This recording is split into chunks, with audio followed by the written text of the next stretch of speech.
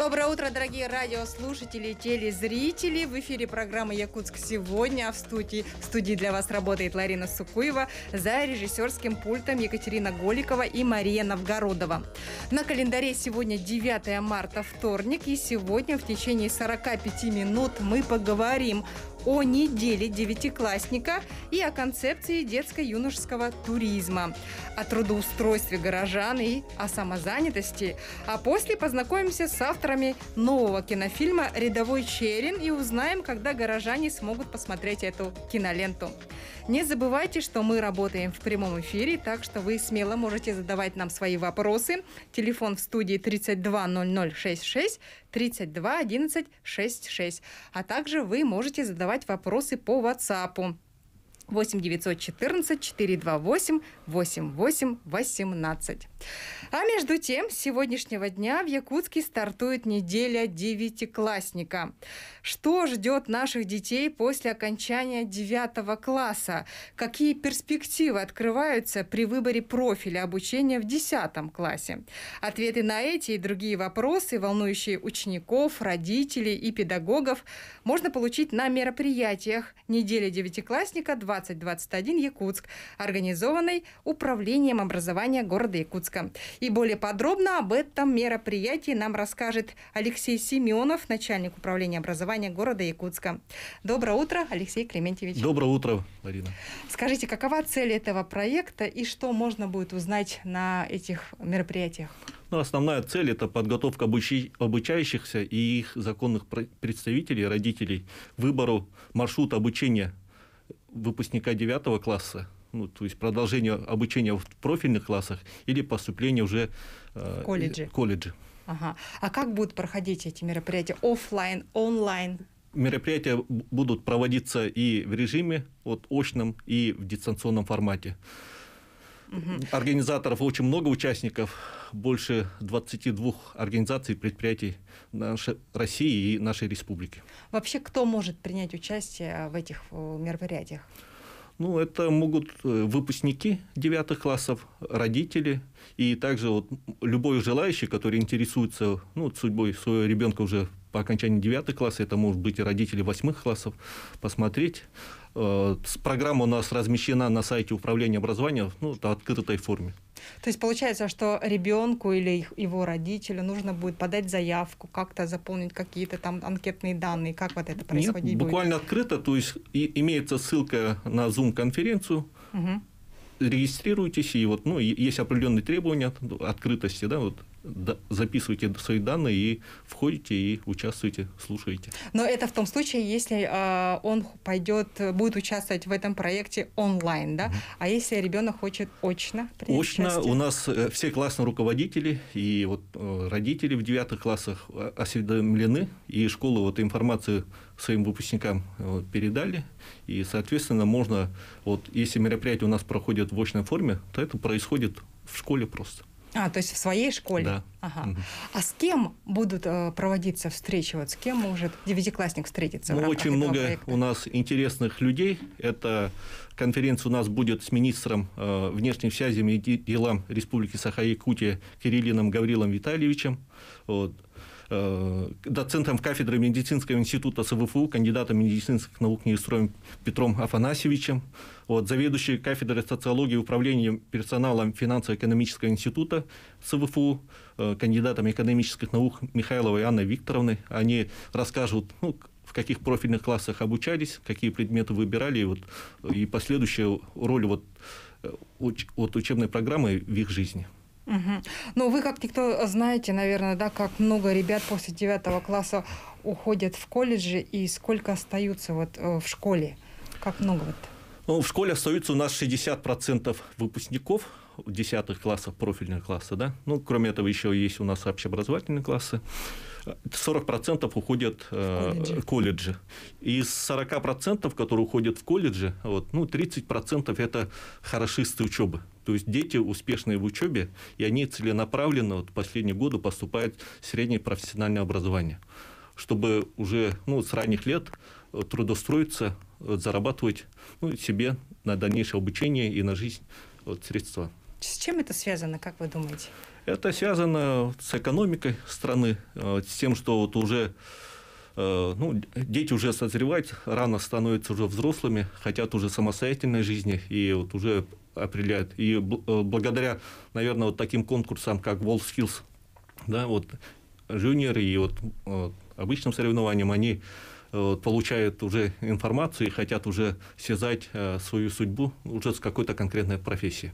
Ну и потом после колледжа, если они захотят продолжить обучение, то они поступают в вузы. Про, да, профильные вузы и, соответственно, уже в заочном форме или в очной уже это их выбор. Угу. А ребята, которые остаются в школе и идут в 10 класс, вот по статистике, какой профиль они чаще всего выбирают? Ну, профили в зависимости из года в год они разные. Ну, традиционно это физико-математический профиль, это изучение математики, физики уже углублено. Также дети, которые поступают вот, медицинские организации, да, биологохимический профиль. И также вот информационные технологии сейчас вот очень стремительно у нас развиваются. И уже ну, правовые структуры, это ну, история, общесознания и вот, ну, юриспруденции. А какие вот э, профильные классы в каких школах нашего города да, существуют вообще? Ну, сейчас вот мы работаем э, над моделью старшей школы, и в школах у нас появляются вот, ну, свои профильные классы. Вот, классы у нас есть вот, по линии Министерства внутренних дел, есть э, медицинские классы, вот, допустим, в 31 школе. Вот самое новое – это благодаря летней аэрокосмической школе вот, Арктик Космос в 33-й школе у нас появился класс э, МЧС. Ух ты. У нас подписано соглашение в прошлом году с главным управлением МЧС по нашей республике. И дети уже на, э, будут получать, вот пандемия нам помешала в этом году, но со следующего года уже дети будут э, проходить практику, ну, какой-то части, вот, э, в неврочке, да, уже на базе э, МЧС. Ага, а вот ребята, которые сейчас вот учатся в девятом классе, да, вот услышали эту информацию, которая э, от вас прозвучала, классы МЧС, классы МВД, медицинские, да, как они могут туда поступить? Какие-то экзамены внутренние или тесты? Ну, в первую очередь, это, конечно, ну, выпускные экзамены. А, кроме этого, уже в профильных классах идут э, ну, тестировать, ну, экзамены uh-huh. внутренние, это уже внутри школы. Обычно это объявляется уже ну, в конце учебного года, в мае месяце, открыто. Вот, по всем средствам массовой информации идет набор. Вот, допустим, в этом году мы собираемся на базе э, портовских школ 38, 24 и 30 школы э, открыть в пилотном режиме в начале, да, вот это, это будет поэтапно вводиться в течение нескольких лет. Нынче мы откроем э, такой профильный класс в 30-й школе.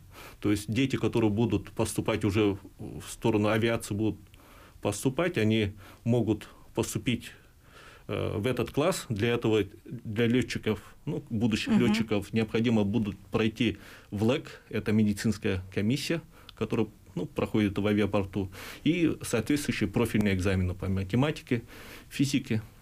И это необходимо, чтобы наши дети э, с ранних лет уже могли ну, исправить состояние здоровья, чтобы у них не было правонарушений, и, конечно, углубить свои, ну, укрепить свои знания уже в каких-то определенных областях. областях. У нас есть вот предварительная договоренность э, с нашим училищем гражданской авиации, и наши дети будут проходить уже в неурочную часть, вот, ну, по аэродинамике, по каким-то специф... ну, вот, спецвещам уже на базе училища. Очень замечательная новость. А куда вот эти ребята могут поступить вот после вот этого вот специализированного класса? Получается, э, в училище летное наверняка, да, ну, наше? Вот училища, и уже те, кто э, сдадут экзамены, уже единый госэкзамен, они могут поступать уже в высшее учебное заведение уже по всей России. Угу. У нас даже рассматривался вариант уже э, с Рижским летным училищем. Вот, ну, пандемия помеш, помешала к выезду, да, но мы хотим тоже вот у них проработать, воз, э, проработать вариант обучения наших детей на базе вот, Рижского летного училища. Замечательная новость. Ну, Алексей Клементьевич, я, я слышала, что на сегодняшний день вы активно работаете еще также над концепцией детско-юношеского туризма. Расскажите об этом. Ну, сейчас вот особенно после пандемии, когда мы больше года уже вот, находились в изоляции, ограниченно массовые мероприятия у нас были э, ну, массовые мероприятия были ограничены, мы чувствуем и видим в школах, что наши дети вот, из-за малой подвижности, гиподинамии, уже ну, страдают. Угу. есть потребность э, нахождения на природе и так далее. И также мы наблюдаем каждый год, что э, население республики э, блуждает в лесу, да, там мерзнут где-то, попадают в какие-то чрезвычайные ситуации, и это как раз недоработка ну, системы образования после развала СССР у нас вот эта часть запала. Поэтому, так как мы живем в довольно-таки сложных, суровых климатических условиях, мы должны детей подготовить э, ну, к жизни. И для этого мы делали концепцию развития детского юношеского туризма, и в течение нескольких лет, двух-трех лет, мы должны сделать реестр маршрутов, походов. Даже вот поездка в Техтюрпарк, да, мы должны вот этой инструкции все проработать, обеспечение безопасности и вплоть до провиантов, какие провиант должен быть. Вот этот мы создадим маршрутно-квалификационную комиссию по городу, в которую будут входить э, с каждой школы члены, э, которые будут прорабатывать вот этот маршрут, то есть утверждать и согласие вот будут э, ну, наши дети и родители ходить в походы. И в конце мы получим очень большой такой спектр всех маршрутов, который может быть использован любым участником. То есть, если кто-то сходил в, со, ну, в парк Сот, Сотчинцы, угу. то из другой школы может открыть вот этот и посмотреть, ну, что необходимо для этого процесса. Или сплав по реке Синя, что необходимо. То есть делиться опытом, получается. Да. Вот эти маршруты вы уже разработали или вот они на стадии? Вот какие планы вообще по маршрутам? Ну вот если у нас маршрутно-квалификационная комиссия будет работать, она только вот сейчас в данное время создается, у нас в течение нескольких лет это ну, трех лет будут создаваться вот эти маршруты. То есть угу. появится самый большой такой массив маршрутов, в последующем вот количество маршрутов уже будет уменьшаться, то есть, ну, то есть новых маршрутов. Угу. А как они будут вообще проводиться, вот эти вот э, мероприятия, да, в рамках кружков в школе или как вообще? Мы в прошлом году, до пандемии, в январе, делали фестиваль э, юношеского туризма «Костер и палатка», и увидели, что очень много родителей, педагогов, не обязательно учителей ОБЖ, да, э, ходят в походы с детьми, но они не регистрируют. И также они не попадают под э, спортивные разряды. То есть угу. есть и степенные походы, которые после прохождения которых дети могут получить спортивные разряды. Угу. Ну что ж, понятно, очень замечательная новость. Вы поделились сегодня, во вторник, 9 марта. Огромное спасибо вам за участие в нашей утренней программе. Я желаю вам удачи и отличного настроения. А нашим телезрителям и радиослушателям напоминаю, что неделя девятиклассника сегодняшнего дня стартовала. Доброе утро, а программа «Якутск» сегодня продолжает свою работу, и сейчас я хочу представить вам нашего следующего гостя. Это Нергун Афанасьев, начальник отдела профобучения и профориентации Управления занятости населения городских округов «Офис Моя работа». И сегодня мы поговорим о трудоустройстве горожан и самозанятости. Доброе утро, Нергун Алквядович. Доброе утро. Я хочу напомнить нашим радиослушателям и телезрителям, что мы работаем в прямом эфире. Вы можете задавать вопросы нашему гостю по телефону 320066 32 1166, а также WhatsApp номер наш тоже открыт. Мы принимаем на него ваши вопросы. Итак, Нергун Алквядович, каково на сегодняшний день состояние рынка в городе Якутске? На сегодняшний день на, на рынке труда а, сейчас имеются а, сложные периоды ну, в связи с пандемией, да, ну и по всему миру, конечно. Угу. У нас, если посмотреть по статистике, в прошлом году состояло у нас на учете качестве безработных 9 а, граждан, ну, более 9 тысяч граждан. Сейчас в данное время у нас уже состоят на учете больше 10 тысяч граждан. То есть повышение у нас прямо 7 раз То идет. То есть, получается, пандемия так повлияла? Да, так а, повлияло, конечно. И в основном это у нас а, люди, которые работали в сфере услуг. Ага, понятно, да. да. Ага. Это рестораны, вот, да? Это рестораны, да, торговля, ресторан, конечно же, в основном торговля, ну и кредитная система тоже, вот банки и так далее. А, по этому направлению тоже. А. И если посмотреть даже а, по вакансиям, которые работодатели дают, тоже есть упадок. У нас сейчас в данное время только ну, 3,5 тысячи вакансий. В прошлом году было более 7 тысяч. Ну, тоже два вот, раза почти. Да, да, два раза почти тоже есть понижение. Как в этой ситуации можно помочь? А, у нас а, мы данное время, ну, в связи с сложной ситуацией, да, и в связи с постановлением правительства номер 460 с прошлого года мы работаем в онлайн-режиме. А, сейчас основной поиск работы для граждан, они ищут через портал работы в России, да, это же прежде всего и портал работы в России, и через наш инстаграм-канал мы несколько, допустим, ну, ежедневно выкладываем посты, да, какие есть uh-huh. у нас вакансии, и у нас есть а, вообще есть а, а, системе центра ну, занятости, да, есть две, два направления. Это то есть у нас активная занятость, да, активная политика занятости, либо пассивная. А пассивное это у нас пособие. Пособие по безработице, конечно же, у нас увеличилось. Да? Если в прошлом году максимальное пособие составило 11 тысяч, а сейчас в время максимальное пособие составляет 16 тысяч 982 рубля. Это будет временно или вот э, уже на постоянной основе такая сумма? А, такая сумма будет на постоянной основе, но а, у нас а, в этом году а, с декабря прошлого года поменяли период выплаты пособия. А данное время сейчас а, они а, первые три месяца получают максимальное пособие, то есть 16 тысяч, а потом а, последующие 4 по 6 месяц они будут получать а, 7 тысяч. Угу. Но в прошлом году, да, а, в прошлом году а, максимальное пособие, вот 16 тысяч, да, это было за весь период. Ну, это для, тех граждан, которые у нас уволились в прошлом году, да, в течение, ну, в течение года, да, и имеют стаж. Но в а, прошлом году а, в связи а, ну, с пандемией, конечно же, да, а, там первый выплаты поменялся для тех граждан, которые даже не имеют а, 26 недель стажа, а, им тоже а, было максимальное пособие. И для граждан, которые закрыли П, им, э, им тоже было максимальное пособие это пассивная занятость. Да? Ага. Активная же это, конечно, у нас, а, а, во-первых, же это проведение ярмарок. Да? У нас а, мы, конечно, проводили все онлайн, и до сих пор тоже онлайн а, проводим онлайн ярмарки. А, онлайн-вебинары мы а, проводим, то есть а, для граждан, которые не только, надо понимать, гражданин, который у нас состоит очереди, не только получает пособие по безработице, но и оказывает, также оказываются другие государственные услуги. Да? Это то есть у нас профориентация, если гражданин не имеет... Еще, да, э, если гражданин не имеет, допустим, профессии, если он не знает, какую работу ищет, да, то мы, конечно, уже оказываем профориентацию. Если а, гражданина а, подходящей профессии у нас нету, либо у него а, 9, либо 11 классов, мы его направляем на обучение. Угу. А как долго вот длится вот, вот эти вот обучения? Сколько то месяцев занимают, да? А, тут а, у нас а, профессиональное обучение. Зависит от профессии, да? Да, зависит от профессии, конечно. У нас а, есть несколько направлений. А, то есть для тех граждан, которые же, во-первых, а, которые не имеют образования, да, соответствующего профильного образования, это у нас а, на базе 9 либо 11 класса они могут пройти рабочие профессии, могут освоить. Это в среднем у нас составляет 3-4 месяца.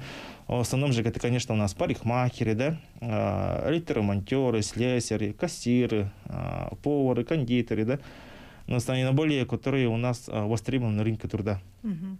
А далее у нас идет а, а, граждан, которые имеют образование среднее либо высшее профессиональное образование. Это у нас курсы повышения квалификации. Они могут пройти краткосрочные курсы. Ну, допустим, если гражданин а, долгое время не работал, да, но имеет образование и хочет свою, ну, возобновить свои навыки, умения, да, то в этом случае он может пойти курсы повышения квалификации. Но в данном случае они составляют от, от, от 7 дней до 14 дней. Ну, от недели до двух недель. И если а, гражданин а, хочет поменять ну, на 108 градусов свою профессию, то есть у нас направление профессиональная переподготовка. Угу. Ага. Ну, тоже это все бесплатно. А, он может, допустим, имея образование а, бухгалтера, отучиться на экономиста, на закупщика, допустим, на закупщика тоже сейчас, ну, да, время тоже На парикмахера, почему да. нет? Ну, да? на парикмахера тоже, да. А вот вы гарантируете после окончания этих курсов трудоустройство? Ага, у нас а, в прошлом году, а, всего мы обучили, в прошлом году 400, а, более 500 чем-то граждан. Это у нас по всем направлениям, да. Это то есть у нас есть проект, э, в прошлом году у нас действовал национальный проект гемографии. То есть мы обучали а, граждан предпенсионного и пенсионного возраста, а, женщин, находящихся а, по уходу за ребенком до трех лет, которые работающие, да, и незанятые женщины, которые не работают, а, и тут важно, прописка не важна по нацпроекту, угу. да, которые не работают, они могут пройти тоже обучение. А также у нас, ну, основное это направление это безработных граждан, да, для безработных граждан, которые у нас состоят на учете. Мы их обучили в прошлом году более 300 с чем-то граждан.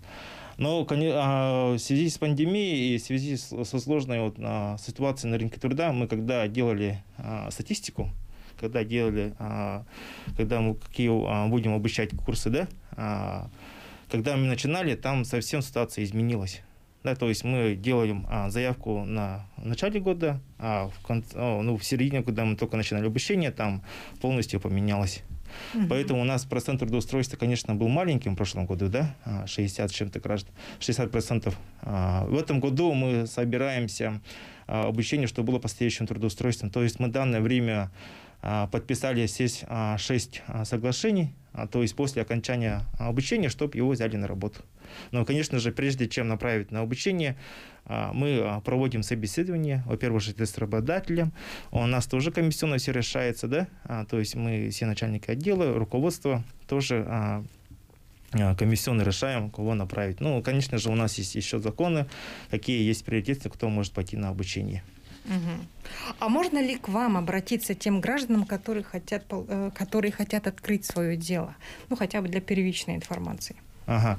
А, у нас а, есть вот активная да, а, политика угу. занятости населения. Это у нас для граждан, которые хотят открыть собственное дело, у нас есть субсидия.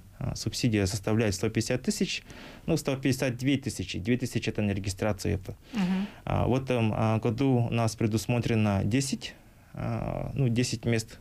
У нас как раз-таки вот 16 марта будет онлайн-ярмарка бизнес-идей для граждан, которые хотят а, принять участие, они могут, конечно же, поучаствовать. А, с, ну, вся информация у нас а, в инстаграм-канале есть. А, сумма, вот сказал, 159 тысяч, да. А, тут а, могут а, граждане обратиться, которые а, состоят на основном учете, и которые не состоят на основном учете. Ну, мест вы сказали 10, да? Да, 10. То есть, получается, будет какой-то конкурс? Да, конкурс будет. А, у нас будет также комиссионная решаться.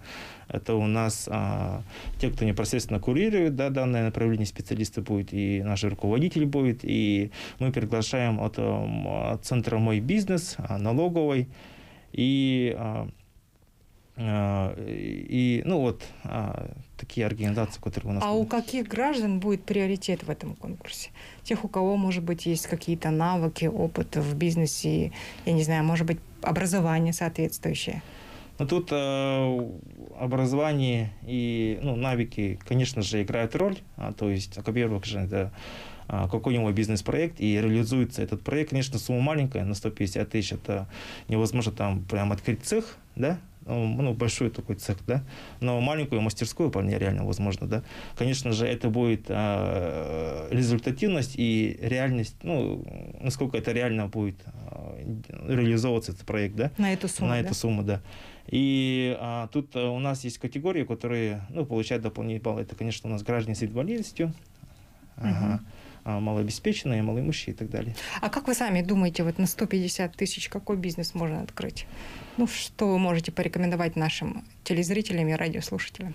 Ну, у нас а, в прошлом году а, выигрывали такие а, предприниматели, которые открыли, а, ну, ш, э, шили ателье, толстовки, да? да, ателье можно открыть, да, а, ногтевой, наверное, какой-то э, Ногтевой, да? да, кстати, да, ногтевой тоже был. А, и, конечно же, ну, в основном в сфере услуг, да. Угу. У нас а, можно и, допустим, ну, маленькую мастерскую открыть а, по изготовлению, допустим, мебели, а, ножей там и так далее. Угу. Получается, что те граждане, которые вот могут открыть вот свое дело, они называются самозанятые, да?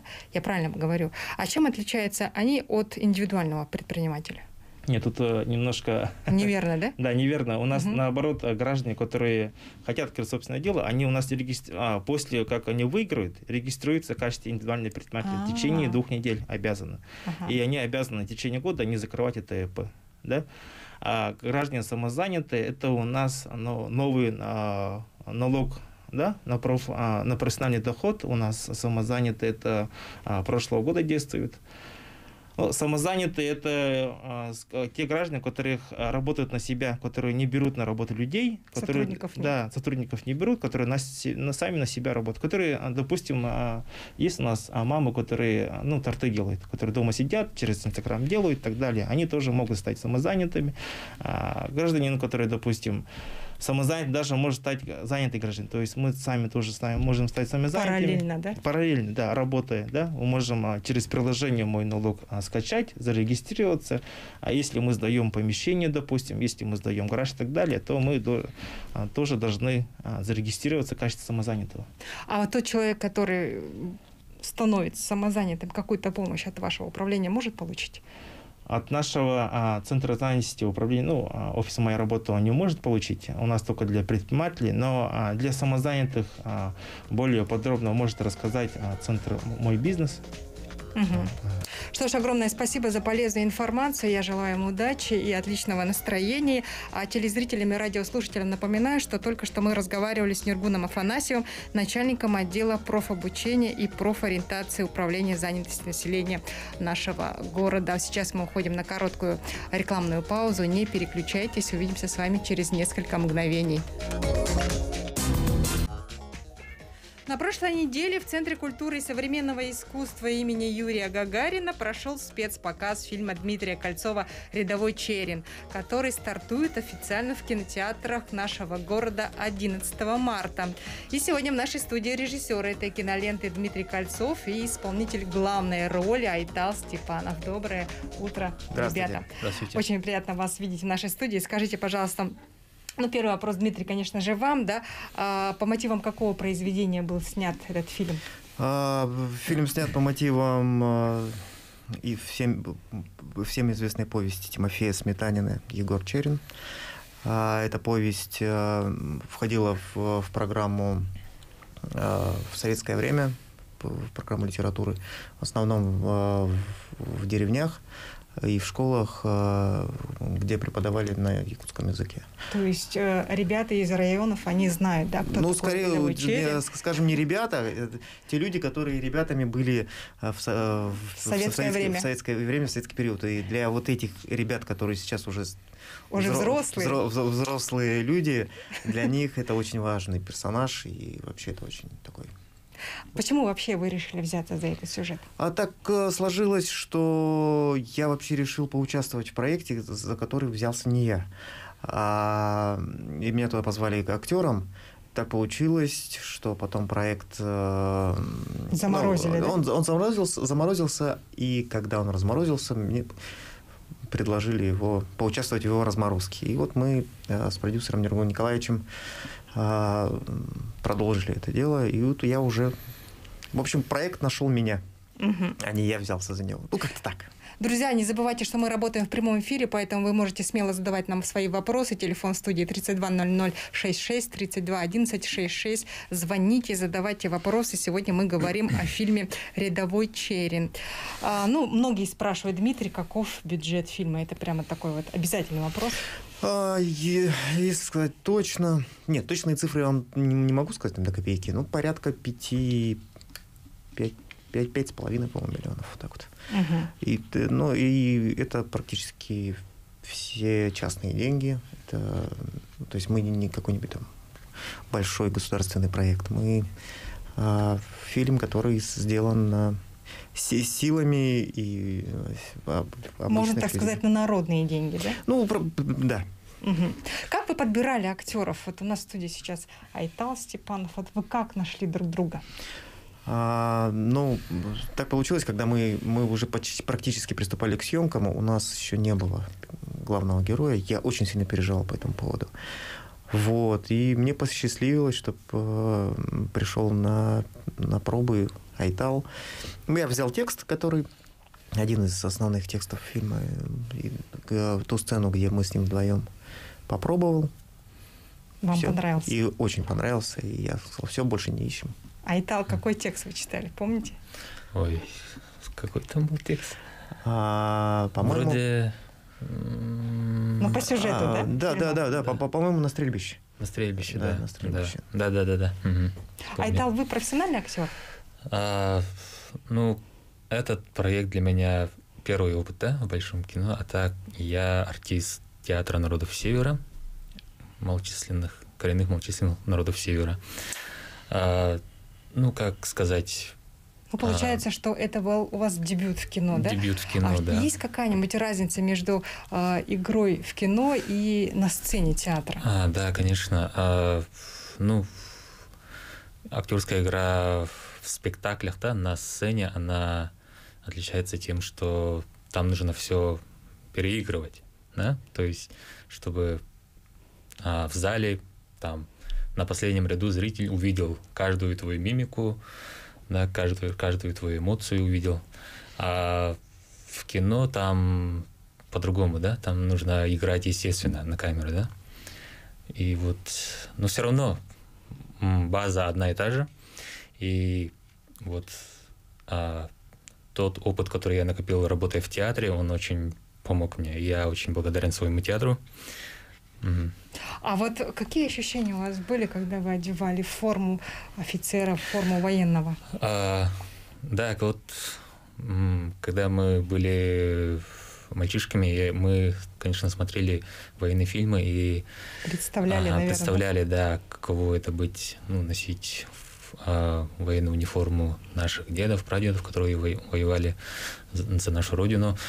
А, и да, сейчас уже как бы м, сыгра- сыграв, ну, поработав в этом проекте, уже ты представляешься, да, сегодняшнему, ну, подрастающему поколению. И это большая честь. Волнение, наверное, Да. такое еще, да? Мгм. Ну, я вот сама не видела а, этот фильм на спецпоказе, да, но слышала, мне рассказывали мои друзья, журналисты, что главный герой в этом фильме прекрасно говорит на русском языке. То есть в ленте вы специально отошли и нарушили стереотип, что якутские солдаты в те годы ну, сталкивались с определенными сложностями в русской речи. Я права или нет? Ну, вы знаете, да, да, многие обращают на это внимание, но дело в том, то, что мы старались э, показать, во-первых, отойти от такого немного комичного образа, к которому привыкли э, российский зритель, потому что во всех практически центральных проектах э, представители северных народов показаны такие очень плохо говорящие по-русски. Среднеазиаты, Да, например, тоже, не- да? не- немножко такие комичные. И у широкого зрителя российского складывается такой образ постоянно очень такой, очень странный, такой немножко карикатурный. И мы очень, я очень хотел отойти от этого. Я хотел показать серьезного, интеллигентного, э, очень Образованного. образованного, очень приятного э, героя. Вот. э, А я еще в фильме слышна немецкая речь. Чистая, правильная. Вот кто за это был ответственен? Дело в том, что мы, э, мы пригласили настоящего, настоящего немца на озвучание основных персонажей. Зовут его Гернот Грим. А, Он по- подошел по-немецки очень профессионально к этому проекту. И, потому что мы сначала снимали сцены, э, в которых наши э, актеры которые совсем не говорят по-немецки, пытались говорить по-немецки, это было для него это было просто не просто смешно, а даже в, в в некоторых моментах он хватался за голову. И он понимал, то, что вот под то, что они там наговорили, ему, под это надо что-то сказать по-немецки по-настоящему. Синхронный Он- перевод, Да, не то, что синхронный перевод, понимаете, он, э, наши герои говорят что-то такое, просто губами, можно сказать, шевелят, а ему вот в эти губы надо вложить и какой-то смысл, и, и правильно... Ну, то есть, как бы основной текст он был, и они, конечно, по, по основным точкам попадали, но он проделал очень большую работу и очень профессионально подошел, и сейчас это чувствуется, и в фильме это очень, очень все лаконично и классно. Ну, 11 марта мы сможем это оценить. Дмитрий, я знаю, что в этом фильме вы сыграли сам. Вот вначале вы об этом говорили. Кого сыграли? А, Я был приглашен изначально на роль э, лейтенанта Лободы.